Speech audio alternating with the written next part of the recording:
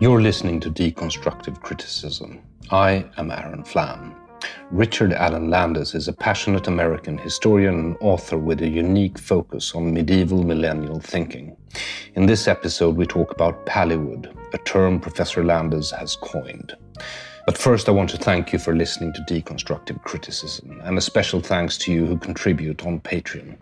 If you wish to contribute to my work, you can become a Patreon at patreon.com slash aronflam, patreon.com slash aronflam in one word, or donate via PayPal with Bitcoin or on Swish 0046 768 943737.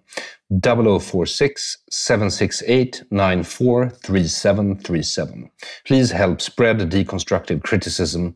All contributions matter.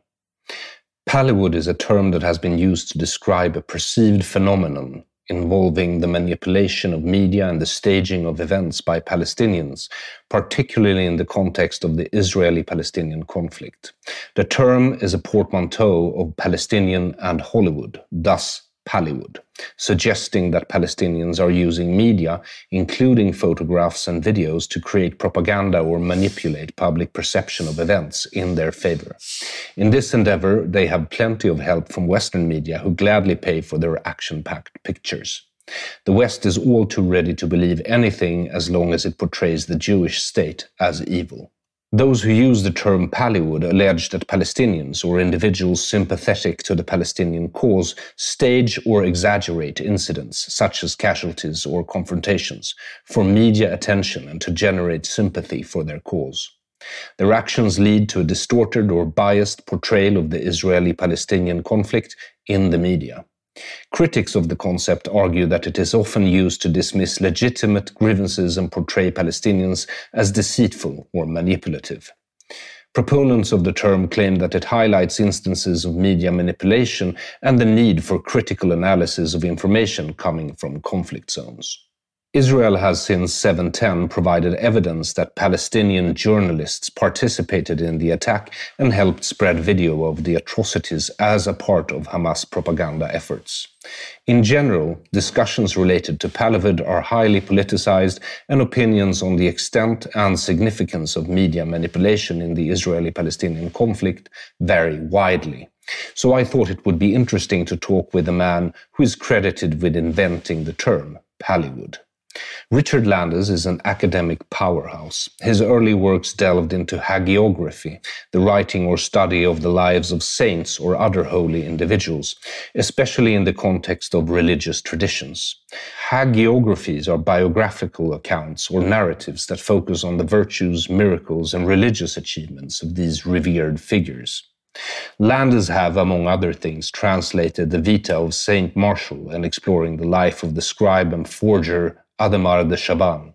For many years, Richard Landes was a distinguished professor in the Department of History at Boston University, where he also served as the director of Boston University's Center for Millennial Studies.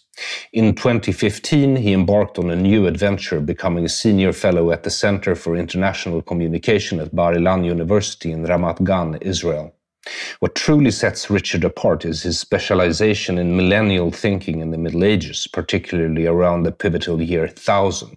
In 2000, he made history himself by publishing what was considered the first encyclopedia on millennial movements in Europe, the Encyclopedia of Millennialism and Millennial Movements. Richard Landes is a scholar who's not afraid to challenge conventional wisdom and explore the fascinating realms of history, culture, and politics. I urge you to watch his short documentary Pallywood on Vimeo. You can find the link in the description of this episode on aronflam.com. Here is Richard Landes. Enjoy.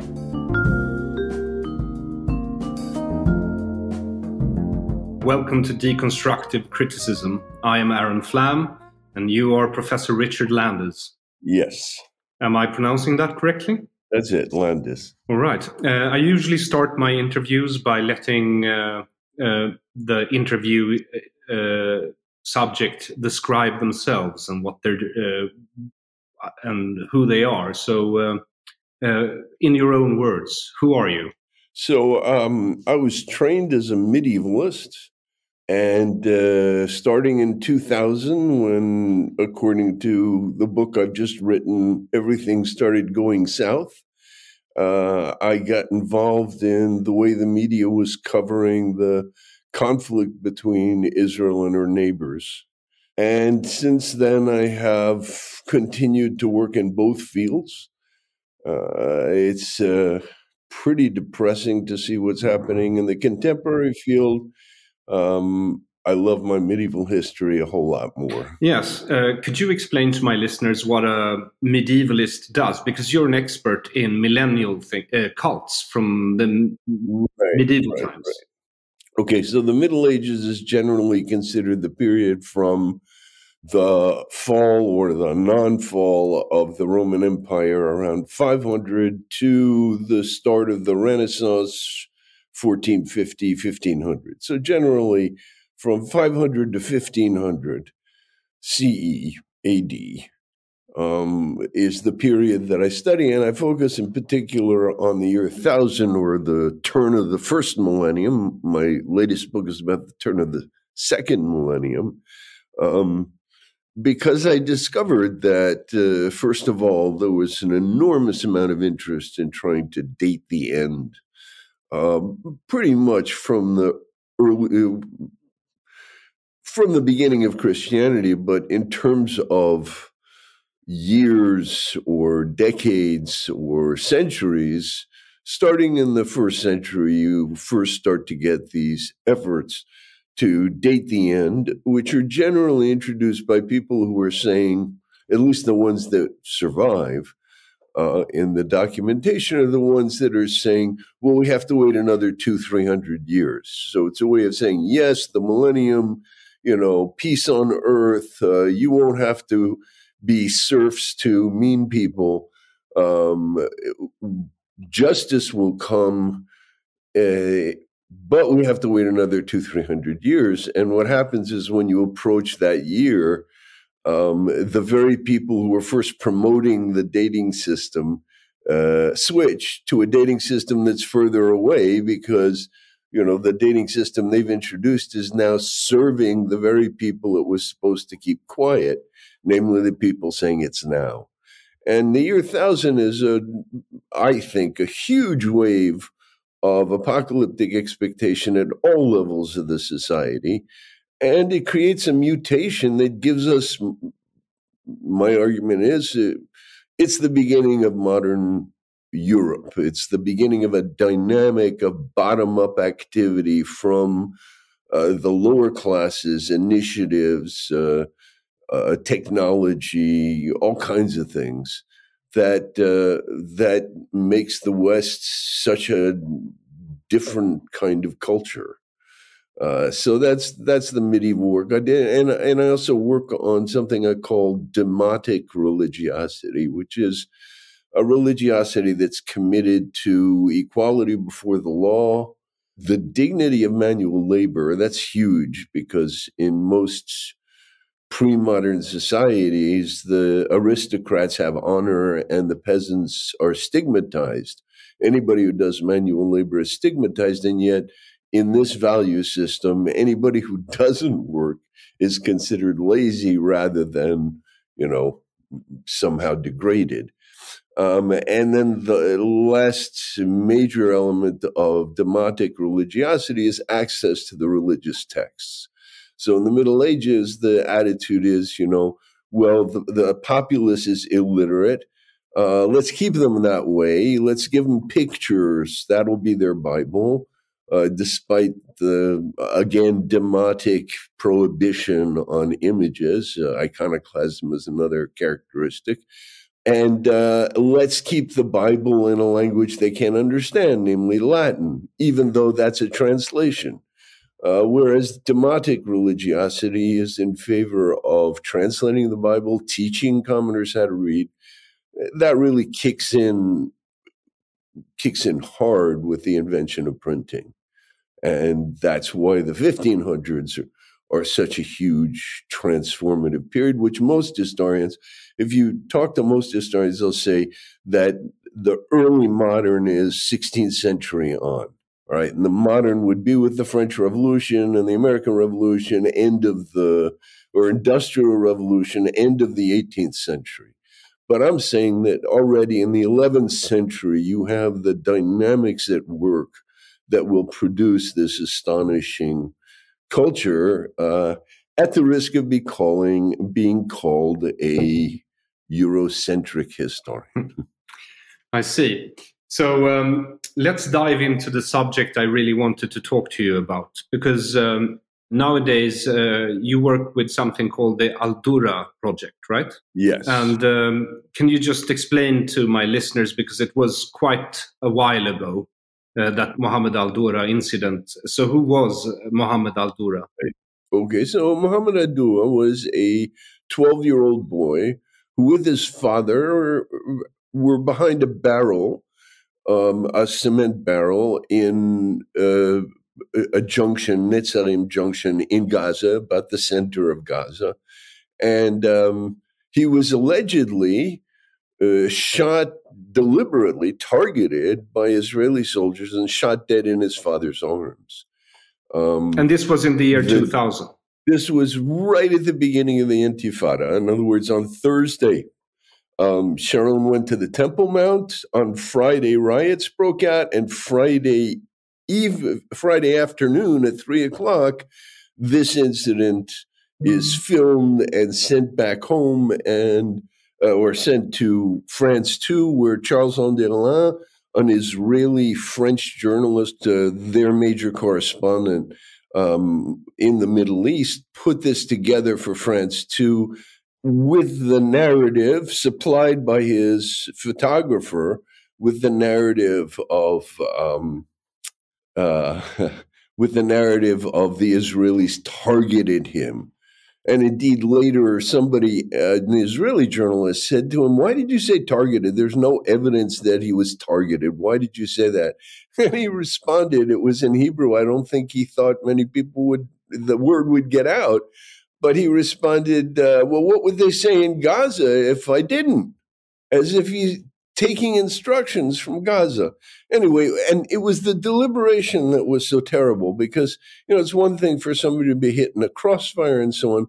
But when you have evidence that somebody deliberately targets kids, especially Israel, who's always whining about how the Palestinians deliberately target their kids, now we got the Israelis. And the story spread like wildfire. It was just at the beginning of sort of we, we weren't up to social media for another five years or so, but already the internet and and the spread of these things went very quickly, um, and it electrified both the the Muslim world, the Ummah, and and Bin Laden immediately took the image and worked it into his some people say masterpiece of um, global recruitment for global jihad. And at the core of it is this story with, you know, calls for vengeance and calls for overthrowing the cowardly Arab regimes and calls for attacking the horrendous Western regimes who support this and so on. Okay. So, and then in Europe and in the West, it also had an electrifying effect.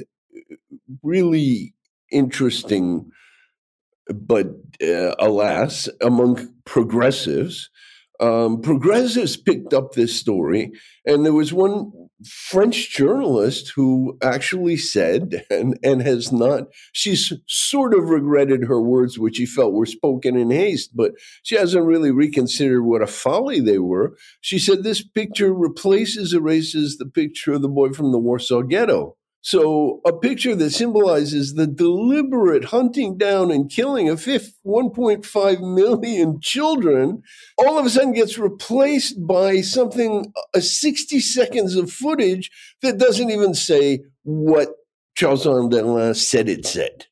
So, so what did it say? I mean, what happened that day in oh, Netzarim crossing? So, Right. So I I recommend everybody come to the Al-Dura site. You can watch the original footage, most of the original footage.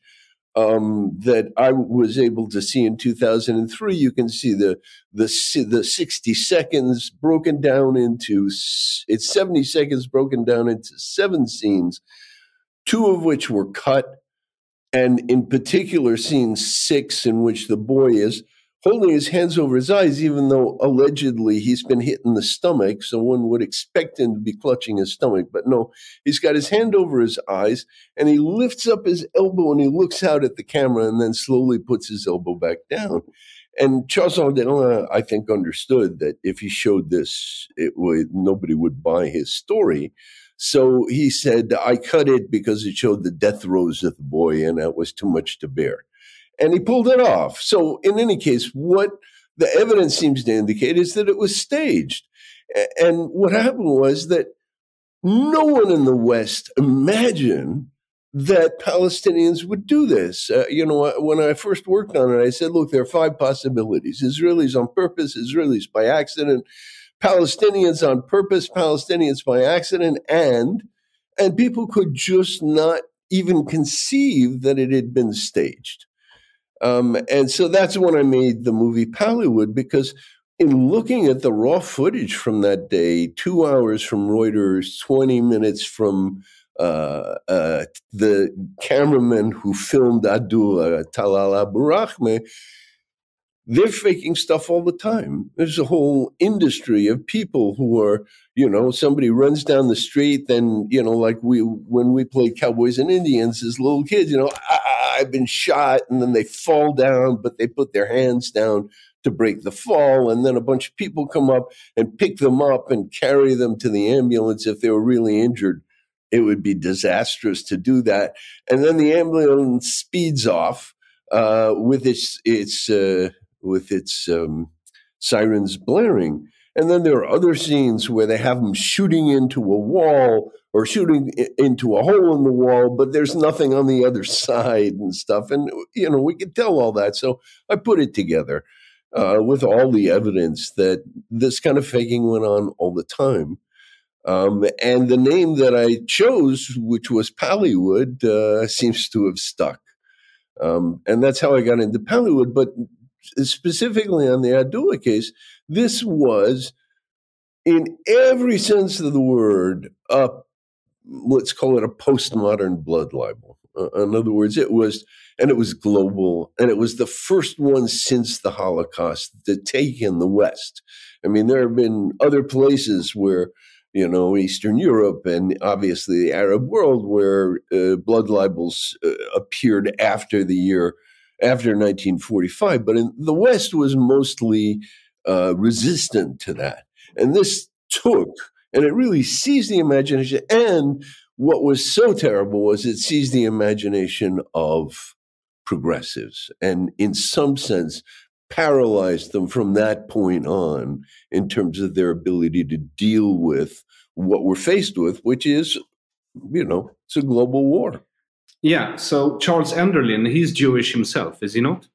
Yeah, and he made Aliyah to Israel and he served in the army and he knew the guys. And when he called up and said, I got this evidence, don't try and deny it, you know, they couldn't understand that he was actually putting together some crappy piece of evidence. They didn't even ask for it. Not to uh, denigrate the, the, the suffering that goes on in Gaza now, but I read in Tablet that when you first saw the rushes, the raw footage uh, yeah. you saw scene upon scene of Palestinians faking mm. injuries. Right. And uh, and when right. you pointed that out, what did Charles Enderlin respond?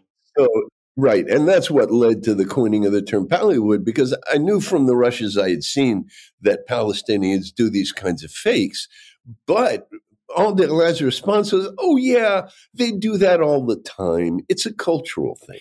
That's so strange. Which, and he had worked with the photographer was a Palestinian called uh, Abu Rahma.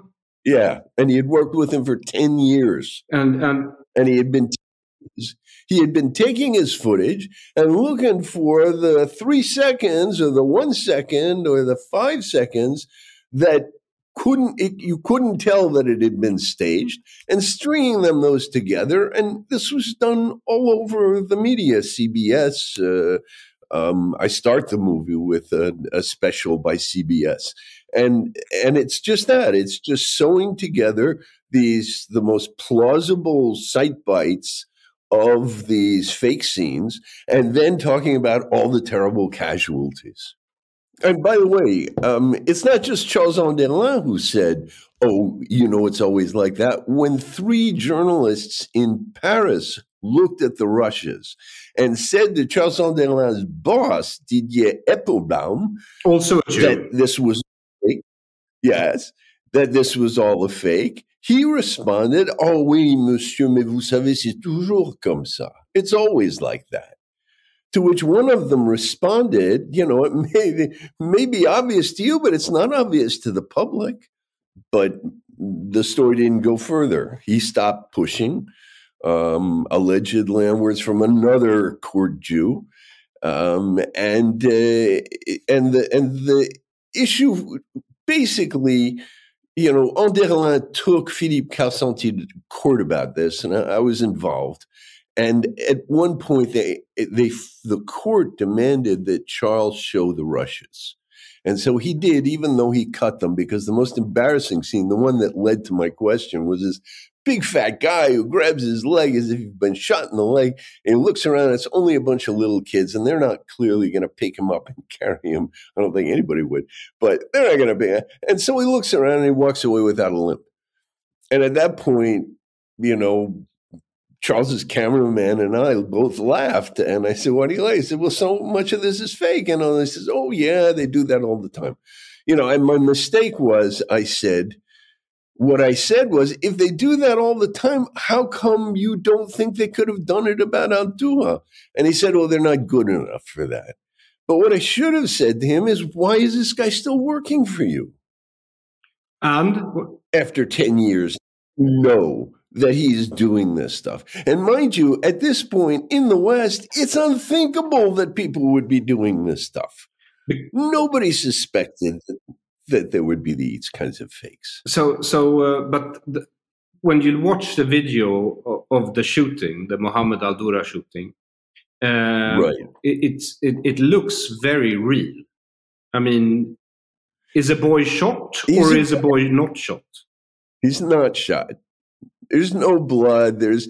They said there were. I think the father was supposed to have been hit by uh, eight bullets, you know, he's sitting up. If he were hit by eight bullets, there'd be blood on the wall behind him. There's no blood on the wall behind him. There's a piece of looks like red where where um, Muhammad is, is, allegedly hit around his stomach, but there's also evidence that he was holding a red rag. But you know, none of his movements, um, including as one of the um, people working on this for the government. In 2013, finally, the Israeli government decided to appoint a commission to look into it. And one of the things he pointed out is, you know, if the boy were hit, then he wouldn't be in the position he's in because you see him laid out with his head near his father's lap, whereas before he was crouched on the same spot. So, in other words, in order to be in that position, he'd have to get up and lie down in order to be in that position. But that's you know that's just one of the dozens of anomalies of the tape in terms of what uh, what Charles Enderlin tells us, including the fact that the bullets are not coming from the Israeli side; they're coming from the Palestinian side. They're hitting the wall head on, and the Israeli position is at a thirty degree angle.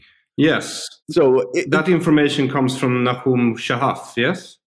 Right. Uh, right. But it, it, I mean, you know, he, he, so Nahum Shahaf is a is a um, shall we say a curious guy, uh, and sometimes he's hit and sometimes he's missed, and um, it was kind of frustrating looking at his evidence because he kept standing in the way of the evidence and talking and stuff. And I was like, get out of the way so we can see the bullet holes.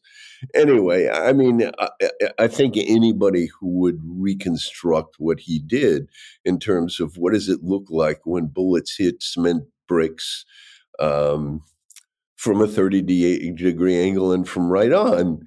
And it's pretty clear that the holes and the dust kicked up by the holes and all that's at the site you can see the the clips where we catch the perfectly round smoke uh, the kick, kicked up dust from the bullet hitting the wall. And you know i don't think they were trying to kill him. I think they were just trying to scare him and he sure looked scared you know? So they wanted to make it look real but um, and, and, I don't think they killed the kid, although one guy said they did. And given how Hamas is behaving now, it's certainly not not unthinkable. But then it was unthinkable. He was immediately uh, um, kicked off the investigation.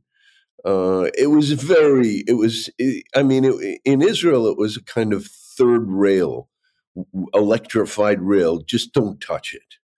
Um, and and it was devastating, and it's been at the heart of the cognitive war campaign of the jihadis, not just Hamas war jihadis, but jihadis around the world um, against Israel and against the West that supports it. And so you have a bunch of people now after October 7th literally marching in sympathy with people who behaved atrociously, um, allegedly on principles of, you know, peaceful, just, you know, all sorts of nice millenarian fantasies. And you are an expert expert in millenarian fantasies.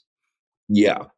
Yeah, and we're dealing with two here. We're, we're dealing on the one hand with the millenarian fantasies of the global jihadis, for whom the ultimate goal is where there was Dar al Islam, no, where there was Dar al Harb, the realm of the sword, the realm of war with the infidel, there shall be Dar al Islam. In other words, there will be a global caliphate. And they see the West and its technology as uh, the expression in Hebrew is Chamorosh uh, Mashiach, the, the Messiah's donkey.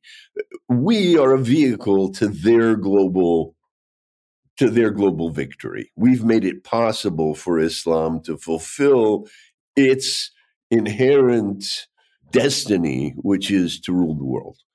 So that's a that's that's a classic um, um, millenarian fantasy. The last person to have that fantasy um, was uh, well, you could say either Stalin or Hitler uh, both of whom believed in a millenarian ideology that would reach its peak when they had conquered the entire world.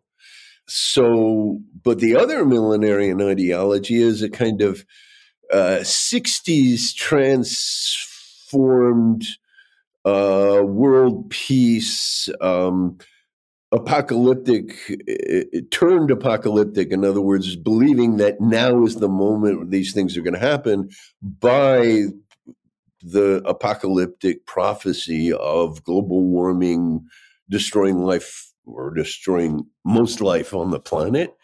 Um, and so that gets them going. But eh, this is almost the exact opposite of the jihadis. It's all about opening to the other, you know, deconstruction.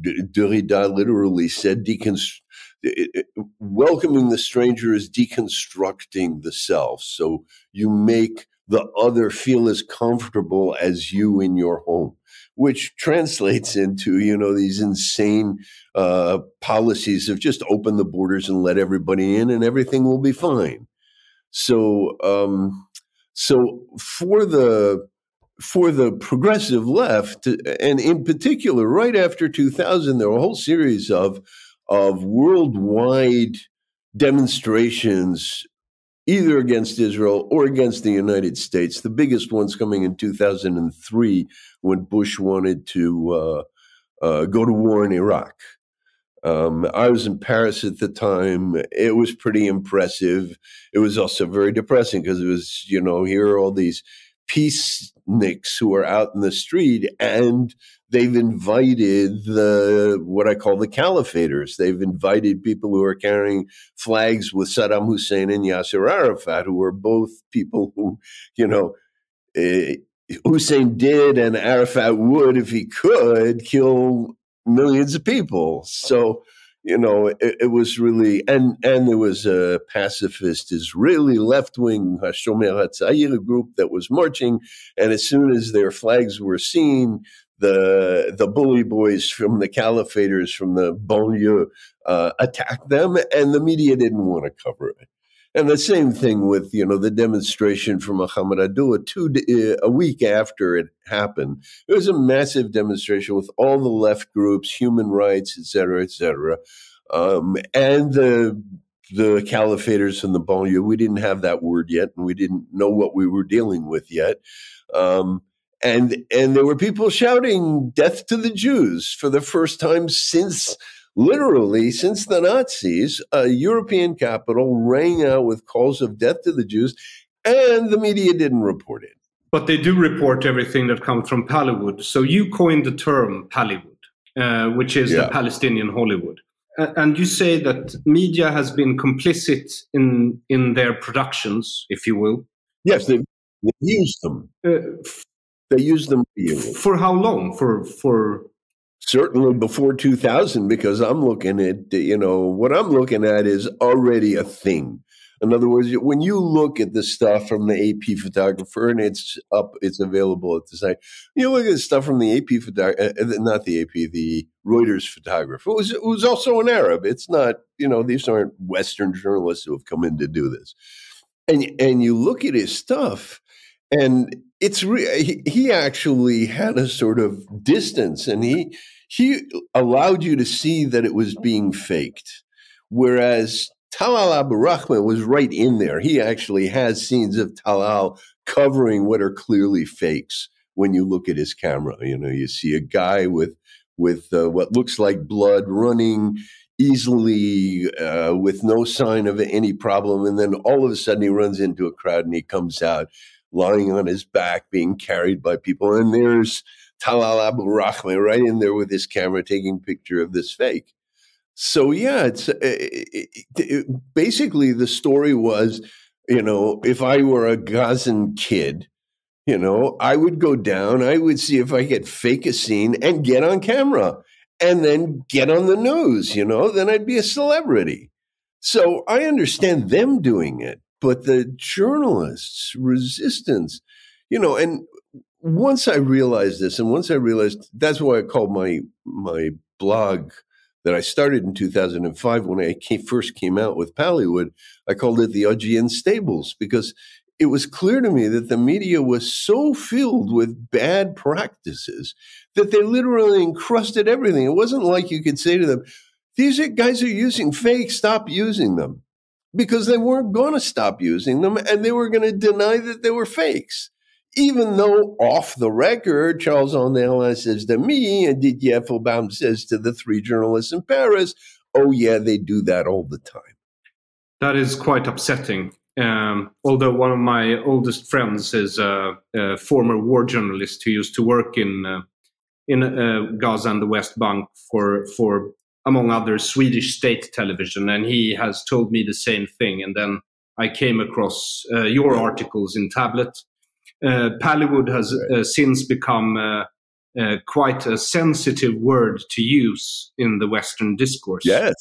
Yeah, there's been a massive assault. In fact, right now I'm in Paris and I'm talking with people about how to respond to a uh, an article in Le Monde on Pallywood. Now, what happened was so, sometime after the Al Ahli hospital blast, which we can come back to, but just for now, that hospital that was allegedly flattened, according to the BBC, by Israel killing hundreds and hundreds of people, turned out to be a rocket shortfall that fell in the parking lot, barely made a dent, and at most maybe killed 20 people. So after that, Israelis were furious that the media didn't wait and that they immediately went out with this story. And then when the Israelis said, it's not us and it's not what you think it is. They played the he said, she said game for hours and hours. Um, so Israelis were furious, and some of them started looking for more evidence of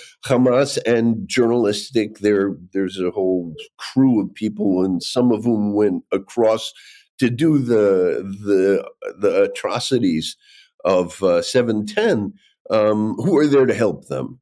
And they started catching Pallywood stuff. And then there came a, a very interesting counterattack, and it started in the United States. Uh, Rolling Stone was one of the first. They all quote the same people. They will or will not mention me, but they don't interview me. Um, and they basically say no, Pallywood. They give a whole series of examples where stuff called Pallywood turns out to have been real. They don't give any of the ones that where it turned out to have been real. They just give the ones that haven't. They say Pallywood is a cog war weapon of the Israelis. I don't know if they use cog war. That's my term, cognitive warfare. But it's it's a weapon that the Israelis are doing to prevent you from hearing the cries of help from Gaza.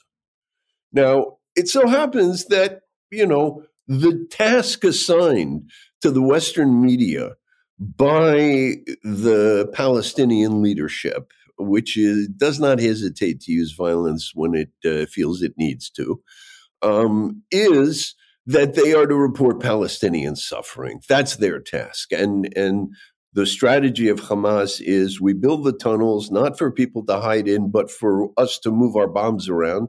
Um, we fire at the Israelis, and when they fire back, they kill our people, and that's a huge and sorry, they kill our people, and the media obsesses over the dead Palestinians. And that's a huge, uh, first of all, it's a huge degradation of Israel. I mean, today it's common for people to say Israel's committing genocide. Yes. So, and they're even going up um, to before a, a world court uh, on this matter. Um, and and so, on the one hand, you have um, this but but without the coverage, if if the Western media were to focus, for instance, on uh, people in Gaza who are furious with Hamas and denounce them, and we have a number of cases where they start to speak to Al Jazeera reporters, and the Al Jazeera reporters cut them, you know, stop them cut them off because that's not what you're supposed to hear. But if the journalists were to do stuff like that instead of doing this, you know, pieta of mothers with their dead children in their arms, um, that strategy of sacrificing their own people wouldn't work. But it does work, and it works because the media's job is Palestinian suffering and they feel perfectly justified because it's for peace. If we push hard enough with how terrible the Israelis are, they will be forced to stop by the international community, and there will be a ceasefire, which they then identify with peace rather than with the next round coming and worse. Yes. Can you explain the Islamic Mass Media Charter? Oh, yeah. So, I mean, one of the things about modern journalism and it, it's a core element of the basic principles of a democracy. I mean, the, the French Revolution and the American Revolution are clear at the start the press needs to be free. They're clear that you can't have a democracy unless there's a free press to inform people reliably and not as sort of ideological or political. Now, that doesn't mean there isn't that journalism, but a good professional journalist would not become an ideologue and pre- present propaganda as news just because the ideology called for it. Unfortunately, that's now happened, but that's it's another story. But the the the, the issue here is that um, the press began to move in a postmodern period towards narratives. Um, and one of the decisions that the press made in the Middle East was, you know, we've told the narrative of the Israeli David against the Arab Goliath. Let's tell the story of the Israeli Goliath and the Palestinian David. And so, right now, you can tell right away when, well, at this point, everybody uses it, but the use of Palestinian Israeli conflict when Hezbollah is there and Iran is there. And you know, this is this is a Muslim problem. That's not all Muslims, hopefully, hopefully, but it is what I call triumphalist Muslims. So to get back to the to the um, Islamic media charter, the, yeah, the immediate charter. So, in a modern media charter, it would be I'm not going to fall into, I'm not going to be a propagandist. I'm going to tell the story as I really think it happened and not uh, bow down, bow to um, uh, the dictates of the powerful. Uh, in the Islamic charter, it's, you know, so it, the, the modern principle of justice is whoever's right, my side or not, right? You sometimes you're wrong and you admit you're wrong um, at least in principle. It's hard to admit you're wrong but okay. Uh, so but the the the muslim charter and the arab charter because there are two and they're both basically the same in this sense is you know a good arab journalist will not shame his people. He will not report things that make his people look bad so essentially, it's the pre modern notion, tribal notion of my side right or wrong. Whatever happens, I got to support my side. And, you know, so you get these journalists who enter the mainstream through all these DEI projects in the West of, you know, we have to open to marginalized voices. And what they're doing is they're letting in people who are coming to carry on a cognitive war with Israel aimed at destroying it. And they can't see that because they're too proud of how they've diversified their um, their journalists. So their virtue gets in the way of the seeing reality as it is, or their virtue signaling, well, rather. Yes, yes, virtue signaling. So, uh, so let me ask this because you're up in Scandinavia, and and you know, I've there I quote some books by Scandinavian authors. Um, I forget her name, but uh, she wrote a book on honor killings in Sweden. In any case, um, you know, one of the things that struck me in the early years of the 20th century when I first figured out this stuff um, was that you know, above all, mostly it was Sweden, but you had the sense that the Scandinavians believed that they were sort of the the the global beacon of the good life and how how to do it, and they were sort of at the cutting edge of the progressive West. Um, and my sense was that some of the thrill of the new lethal journalism where reporters are basically telling the war propaganda of their enemies, certainly Israel's enemies, but also their enemies, um, that in in dealing with this, they couldn't admit that this was going on because if they did, then they'd be racists for describing another culture as radically different from ours. I certainly got called a racist all the time, and I I would say it's about culture. It's not about race. And they would and and they would say I don't care because at the time being called a racist was you know what being called a genocider is now. It's it's the worst of the worst. So I don't care if it's accurate. Well, uh, I get called a Nazi a lot. So uh, yeah, Sweden is a very special case. I actually wrote a book about the relationship to the Second World War because you know the, the Swedish myth is the myth of neutrality, that we were new, neutral right, right. during the uh, Second World War, and right. uh, when I released it, uh, police stormed the, my publisher and confiscated all the books, and then I was uh, prosecuted for two and a half years. Uh, so I think um, my home country, uh, which I'm generally sort of 50 uh, 50 proud of. Right. Um, they have a very complicated uh, relationship uh, to uh, that part of their history. And I think, yeah. because I don't know if you know this, but Sweden was actually the first country in the Western world to um, well, our prime minister, in his official capacity, was the first Western prime minister to meet Arafat. They met in Algiers in 1974, the day before his famous speech at the UN. You know, the yeah. olive branch in one yeah. hand and pistol on the hip. Right, right. Um, so um, they gave them a huge propaganda victory. And Olof Palme, who was a prime minister we had, uh, oh, got murdered. Uh, uh, he was uh, together with the Austrian Bruno Kreisky and um, and the West German uh, chancellor at the time. Right. Uh, they were called the Three Musketeers because uh, they had this idea that they were uh, supposed to be in between uh, the the, the contrahents of, of the Cold War. They were not Soviet communists. They were not American capitalists. Right. They were social democrats.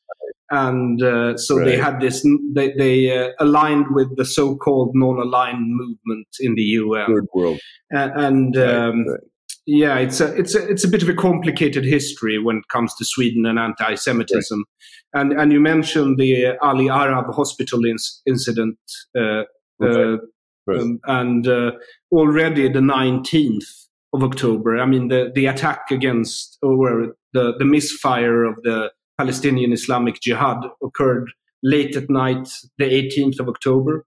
And already in the morning of the 19th, we had people marching through the streets of Stockholm, calling yeah, for, uh, you know, uh, the dismantling of the, the Israeli state. And uh, that is quite normal uh, where I come from. Right. And can you, can you imagine if the story had spread through the Muslim world that the Israelis hit the hospital and all the Western press did what they should do, which is not say anything until they have enough evidence to say something. And instead of running Israeli strike hits hospital, kills 500, Palestinians say, waiting for several hours and saying, We don't know what's going on, but we're not going to report on it until we have a better sense. Um, and the Western press had all come out with pictures of the tiny uh, crater in the parking lot. Can you imagine the difference, certainly in terms of the people supporting Hamas in the West, you know, who are who are on their heels now after 710 and sympathy for Israel. And people were starting to rethink, well, wait a minute. I mean, in Israel, there's this expression, the conceptia. And the conceptia, which we no longer hold by, was if we're nice to them, they'll be nice to us. It doesn't work. Well, sir, the so, first thing that would happen if the Western media started reporting the actual truth is that I'd be out right. of a job. no, no, no. They'd hire you. Maybe. Who knows? you'd, you'd go to much higher levels because you'd reach a public. I mean, they're basically preventing people in the public from hearing the voices they need to hear. Yes, but let's return to the Al Ahli Arab Hospital incident because what happened was quite interesting. Because in the beginning, since 710, Israel actually, for the first time in my life, uh, being a, a, Swedish Jew, uh, Israel actually got some sympathy it has never happened before. Yes. And all our party leaders across the political spectrum. Con- yeah, now hold on. In, 19, in 1991, when Israel was getting hit from Iraq with Scuds, and Palestinian Arabs were climbing on their roofs in Jerusalem to cheer the Scuds, um, Israel got world sympathy because we didn't fight back. But it's only when we're attacked, it's only when we suffer, and it's only when we don't back that we have people's approval. Go ahead. Yeah, so uh, this was the first time in that I can remember that all party leaders in Sweden across the political spectrum actually condemned Hamas. I don't. Interesting. interesting. So, and and that happened uh, pretty much the day after because we had a big uh, uh, uh election debate on Swedish state television, and and and then. Uh-huh you know, two weeks pass, and and and then the Al uh, Ahli Arab Hospital uh, gets uh, bombed, and and it and it and it turns 180 degrees in less than 24 yeah. hours. Yeah, yeah, yeah, yeah, yeah. And and the behavior of the media in that case is probably it's probably the worst since they bought the Jenin massacre in 2002. I mean, this is so clearly a false story. And in all its details, it was not Israeli, it was not, it did not hit the hospital, and it didn't get ill anywhere near 500 people, or even 200, or even, as I said, probably a dozen, two dozen. So, you know, and and it's the jihadis who did it and um but when Hamas came out, and mind you, as you you said yourself, this is ten days later.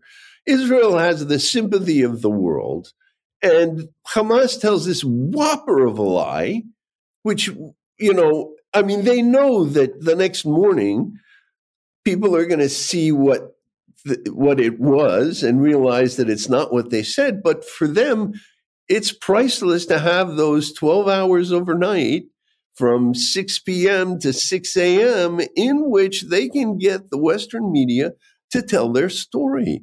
You know, and it's like, I was thinking, holy mackerel, you guys, they'll slaughter Jews in the most despicable way, but you don't think they'll lie to you? Yeah, it's uh, quite astonishing, actually. Yeah. So, um, what now? Uh, you live in Israel. Uh, you you teach at Bar Ilan University. No, I don't teach. I retired from teaching. I was I was part of a, a center. I was a fellow at a center there. All right. And uh, what's the stimmung like in Israel now? Are you? Uh, are, is, well, look, you know, it. it uh, look, the it's clear to the vast number of people that this is an existential war. I mean, I have a there was a reviewer of my book who finally got his review accepted, and he titled it a year after the book came out, "The Book That Saw 710 Coming a Mile Away." You know, and I'm getting notes from people saying, you know, I listened to you and I really thought you exaggerated, but you were right. My daughters say you're Cassandra and so on. So um, there's a widespread acknowledgement uh, that this is it's a global effort. It's a very serious effort. These people are not going to be bought off by our being nice to them. Um, and in fact, I mean, one of the things I argue in my book is that for the positive sum Westerners, including the Israelis, um, land for peace was a positive sum solution. Israel gives something, they get something. The Palestinians get something, they give something. Everybody wins. No, it's a zero sum game. Whatever they get, they will use for war. So instead of the the Western formula for Oslo was land for peace, the Palestinian Arab triumphalist Muslim version of Oslo was land for war, which is what he said uh, Arafat said in, an address that he thought was um, private to Muslims in South Africa, the the year after he had made his Peace of the Brave speech uh, for the Nobel Prize. So um, he, this the mm, I don't, am I answering a question of yours, or have I? No, no, off? no. I think you are answering a question uh, because I'm I'm asking about because when I went to Israel last time, and I've been a few. Oh yes, the mood. Yeah. The mood. Right. So there's yeah there's there's you know we were being torn apart by these demonstrations for and against, but mostly against um, the legal reform.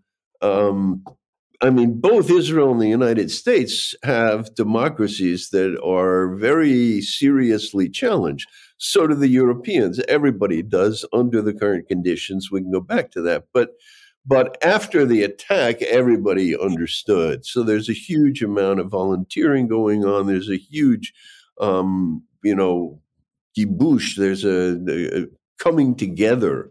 Um, now, how long that can last uh, is another matter. But certainly, in terms of the army, the only thing that you hear is we understand what we have to do, and we have to get at Hamas.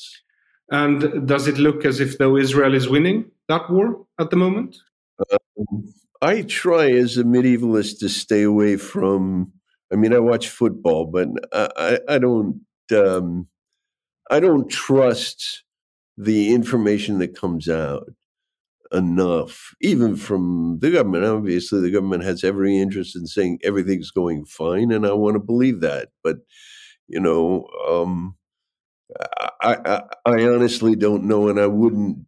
Uh, you know, on a podcast, I wouldn't uh, uh, give my opinion. That's uh, quite worrying. Um, but uh, let's go back. You say that Israeli democracy, American democracy, and European democracy is being challenged at the moment. Where do do, do those right. challenges come from? You think? Well, the main challenge. I mean, there are there are lots of challenges. There's the Russians, the, the Chinese, uh, but um, the one that I focus on, uh, partly because, as far as I know, it's specifically millennial, is the uh, triumphalist Muslim effort at what I call the global caliphate. And they've put huge pressure on the West um, to downplay the violence of uh, Muslims in the West. So there's been a, a great deal of aggression, um, which either doesn't get reported or when it can't be avoided because it's really outrageous, like torturing an old lady and throwing her body over the balcony, it gets attributed to uh, mental illness. Um, so uh, this was an instance in I mean, France that happened. A, a yes, Jewish old yes, woman got murdered. Right, that's right. And so what what you have with these situations is um, the Muslims, particularly in Europe and particularly in France and England and Germany, um, you know, they have moved in. They have a street um, which starts with Muhammad al-Dura and which uh, goes off on its own at various moments. Um, in particular, I think this one. Um, so you have a great deal of aggression that's gone unreported, and what you have, uh, you know, I know the French press, but not as well, so I won't go there. Let me just say that in the American in America today, there is probably half the population that has come to the same conclusion that I came to back in 2003, which is you cannot trust what the media is telling you. They have an agenda and they carry out that agenda. And you can see that agenda in things like, you know, the George Floyd riots are mostly peaceful, right? I mean, if it were Republicans or, or, you know, white nationalists who were rioting, this would be as it is with the Capitol. It's an insurrection, you know. And in fact, the same the same station that wouldn't use the word terrorist for Hamas had no trouble putting on an FBI guy who said that the it was uh, January sixth at the Capitol was terrorism. So you know we're not dealing with straight shooters, and you can see that in the Al Ahli Hospital thing because you know they think they're straight shooters. I mean, they are convinced that they are doing a good job. So, in the case of CNN, you have um, uh, Peter Lerner, and this is at noon. So, this is like six hours after the evidence has been made available. There are estimates that are serious out there that anybody can access. And, and six hours later, Peter Lerner is trying to explain the evidence, and she keeps saying, "Well, but what about this? And what? Well, but what about that?" And he finally says, "Look, you know, you you he doesn't say, he should have said, because it's evident from her questions, you haven't looked at the evidence. You're just sitting there playing two narratives. This he did say. You're you're you're playing the narratives. You know, he didn't say he said, she said, but that's the short term for it. You know, you, you tell a story, he said this, she said that, and who knows? And they kept throwing up their hands and saying, Who knows? when the evidence was overwhelming the, the empirical evidence was overwhelming that the Israelis were right. And yet they wouldn't. And so Peter says, I don't think you're interested in what actually happened. And she cuts him off. This is Becky Anderson. Cuts him off and says, I'm sorry, I can't allow you to say that. No, Peter Lerner, we are looking for the truth. You know, just as she is doing the exact opposite. It, it's a it's a rather shocking moment. Yeah, it's uh, I, because I remember reading in your uh, article in Tablet that uh, Anderson Cooper first say, says we cannot independently confirm how many people were killed in this blast, but the pictures are sickening. Right. Yes, and, yes. and the pictures are no, because there are no pictures. The, the, the photographer's quote is there were so many bodies I couldn't even photograph. Right, right. Yes. Uh, I mean, you know, and we're supposed to believe that he's so deeply moved that he can't take a picture of it. Nobody there can take a picture of hundreds of bodies. And the most we get is two pictures of 20 corpses, and they could be the same corpses, you know, in two different places. And it's just, you know, and, and it's in the hospital parking lot. Um, and there are a whole bunch of people standing around. So the bodies that you're looking at are what they've got. This is not, uh, you know, this isn't, the place isn't littered with bodies. So, you know, they got no good evidence. They, you know, they should have immediately, even without asking the Israelis, they should have had a photographer on the scene who could take a flash shot of the crater. Yeah. You know, the people, the journalists on the scene, they could have taken a picture of that crater and sent it back to them, and that's what should have happened. And and they would have known even before the Israelis started defending themselves that it wasn't Israel. And yet, the attachment to the story of Israel killing Palestinian people in a hospital who have come there for refuge from war torn, a safe place, how could they do that? Was just too attractive. Yeah. And uh, once the lie was out, people started believing it, it and then it was, uh, then you guys were pretty much fucked. Yes, yes, yes. Uh, but so were everybody in the West who is being duped by a movement that will behave atrociously if they gain power into giving them power. Yeah. It's astonishing you know, one of the big complaints, and I, I think it's a supersessionist complaint, uh, which apparently you don't have to believe in God to be supersessionist. Um, the complaint that, oh, the Jews, you know, 2,000 years, they were treated so badly, but no sooner do they get power than they turn around and act like they're persecutors. Okay, that's a, that's a beloved uh, uh, trope. Yes. So, so look at the Palestinians and ask yourself, how long will it take them? It's taken us, according to you, 75 years to get to the point of committing genocide. How long do you think it's going to take the Palestinians to use whatever power you give them to do evil things?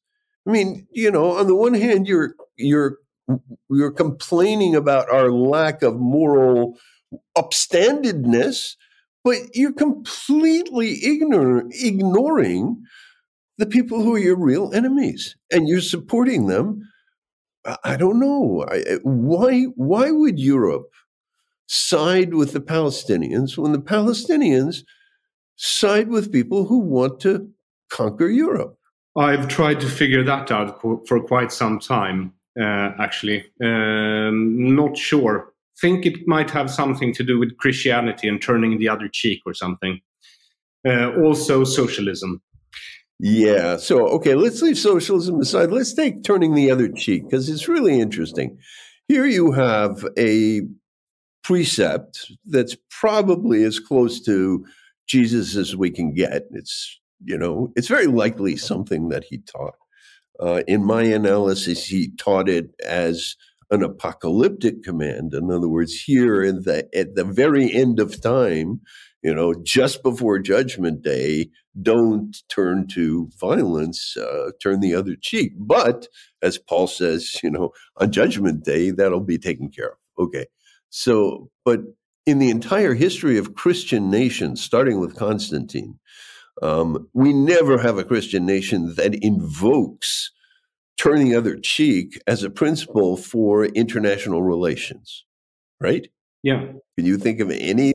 No. no. Okay. So, and now in postmodern Europe, they're actually imposing it on us. The postmoderns, the post colonials, are imposing turn the other cheek onto us as a principle of foreign politics. It's quite strange. I, have uh, uh, compared the the coverage of the war in Ukraine in Europe with the, the coverage of the Israeli Hamas war, and and right. in in the Ukraine uh, case, uh, the media is has a consensus. The war must go on until the end. You know, Right. Uh, but in the Israeli case, the war must stop as soon as possible. And they're both connected because they're both the front line of the West. Right, right. So that's fascinating because it, you know, one of the things I was thinking about the Ukrainians is when they see how how the media covers this and the sort of huge that the, you know the NBC has a special section just for what they call coverage, but what should be called Palestinian suffering, you know, and and the Ukrainians are looking at this and must be thinking, we we got the wrong enemy. We needed the Jews as our enemy yeah. because having the Russians as our enemy doesn't get much for us. But oh, look at what these people get for having the Jews as their enemy. And you know, the the there's famous uh, Palestinian poet uh, Mahmoud Darwish who was interviewed in the late 60s by an Israeli avant garde journalist. And he said to her in confidence, um, you know, the only reason that people like our cause is because we're fighting you. If we were fighting anybody else, nobody would give. He didn't say a flying, you know what, but yeah. So, um, so yeah. So the obsession of the West with the Jews is something to behold. It's really, you know, as a historian who studies history over a thousand, really 2,000, 3,000 years of trajectory, um, but my focus is the last thousand years. Um, as a historian who looks at big things, this is you know, this is really a kind of astonishing piece of behavior. There's a very interesting book um, called what's the term he uses? Uh, um, it's like unintended evidence. It's evidence that you give by your behavior without realizing that you are indicating a preference. And here we have the media indicating a literal obsession with Israel. And so in 107, I'm sorry, in 1710, in on the 17th of October, Al Ahli Hospital. Um, CNN, it was four o'clock in the United States. Was it four? No, it was even Three. earlier. It was like, yeah. So um, in the States, they dropped everything to cover this. I mean, the next person who spoke was a woman who had a, a news, a, a business news program.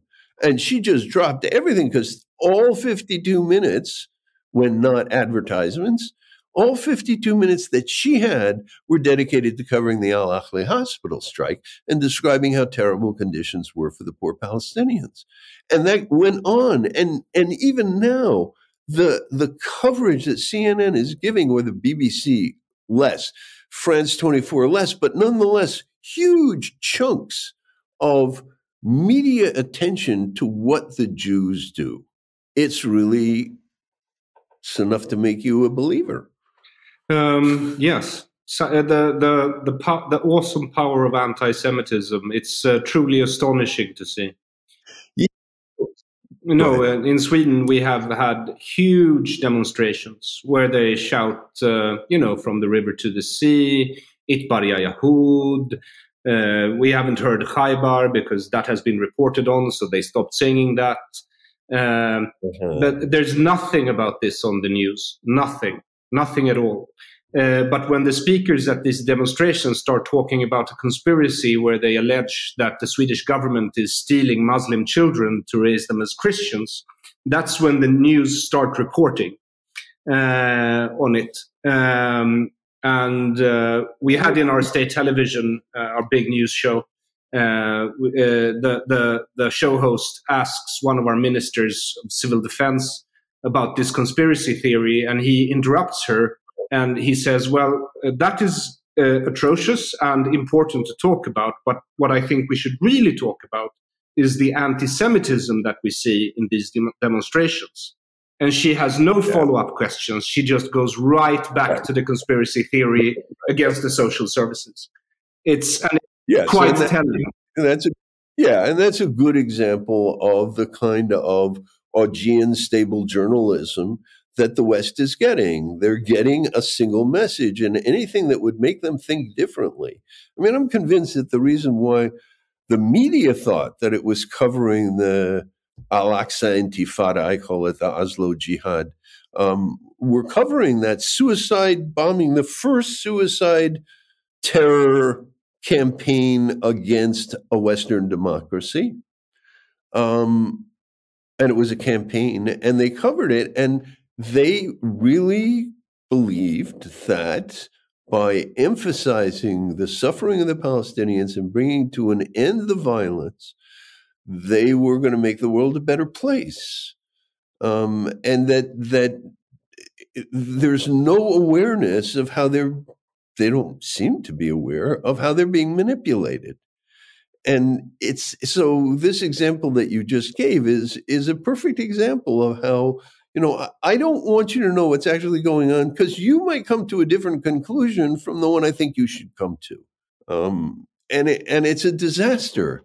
So in your case it's interesting because eh, on the one hand you have no coverage of the demonstrations no. right but you do have coverage of what incites the demonstrations namely Palestinian yes. suffering on the news. And that's exactly what was happening in France in 2000. They were the, the intifada was pumped into everybody's uh, living room with images of suffering. Muhammad al-Dura was the lead image every day. It was every day when the news came, we're going to see what's happening in Palestine. There's Muhammad al-Dura. And it's the same thing with Al Jazeera TV. So, you know, on the one hand, you have this this this media that is making things thousands and thousands of times worse. They're they're basically behaving like, you know, people throwing matches in ammunition dumps. And then when it leads to riots in the West, in their own hometowns, they don't cover it. Oh, it's amazing. Well, um, I want to thank you for your time, Professor. Can I ask you, is it possible to see your film Pallywood anywhere? Sure, sure. It's at my Vimeo site. If you type Pallywood, I'll send you the links. Thank you. Thank you so much. And I'll send you a digital copy yep. of my book in English so you can see for yourself. Excellent. And, excellent um, conversation. And, and thank you for participating in deconstructive criticism. Thank you for inviting me. Bye. Bye. Thank you for listening to Deconstructive Criticism. This episode's guest was Professor Richard Landes. You can find him on Twitter, and I again urge you to watch his short documentary, Pallywood, on Vimeo. It's only 20 minutes. You can find the link in the description of this episode on aronflam.com. Thank you for listening to Deconstructive Criticism. A special thanks to you who are a patron of deconstructive criticism. If you want to contribute to my work, you can become a Patreon at patreon.com slash aronflam, patreon.com slash aronflam in one word, or donate via PayPal with Bitcoin or on Swish 0046 768 943737 0046 768 943737. Please help spread deconstructive criticism. All contributions matter, and I consider you a hero if you do. I am Aron Flam. Until next, have a